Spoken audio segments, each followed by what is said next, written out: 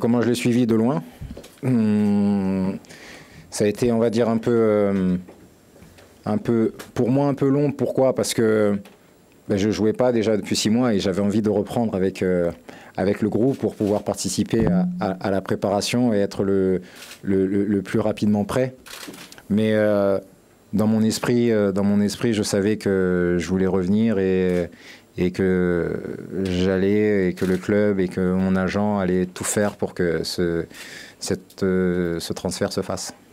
Euh, je voudrais d'ailleurs dire une chose, euh, Steve est parti et c'est tant mieux.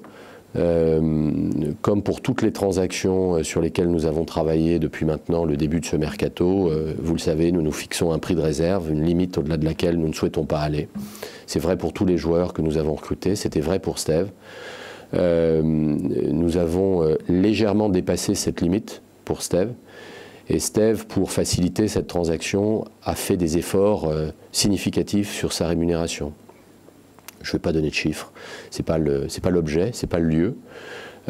mais, il a fait des efforts. Et, et une partie de ces efforts, d'ailleurs, je me permets de le souligner là en revanche, a consisté à faire un don de 200 000 euros AOM Attitude, qui est la structure, comme vous le savez, le fonds de dotation qui pilote l'ensemble des, actions que nous menons euh, en matière sociale.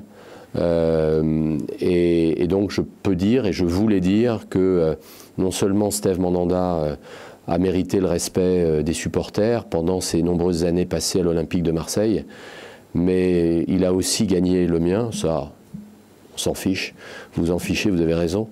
Euh, mais je trouve que l'attitude qu'il a eue euh, dans les dernières heures de cette euh, négociation a été absolument exemplaire, absolument remarquable.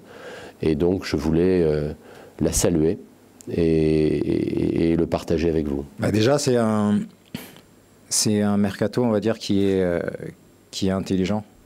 C'est-à-dire qu'on prend, ils prennent le temps, prennent des joueurs de qualité, quand on voit euh, chaque joueur qui a été pris déjà à partir déjà depuis, euh, depuis janvier, il n'y a que des joueurs de qualité, euh, des joueurs qui apportent un plus à l'équipe, des joueurs, je pense, qui sont faits aussi pour le club, parce que c'est vrai que c'est n'est pas non plus évident à chaque fois de pouvoir être performant au sein de l'Olympique de Marseille.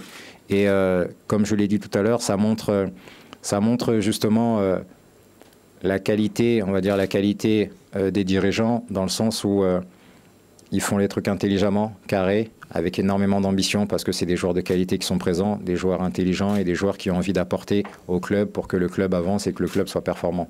Donc, euh, c'est ce qui m'a plu aussi dans tout ça, et, euh, euh, je suis vraiment très très content d'être ici et de retrouver tout le monde.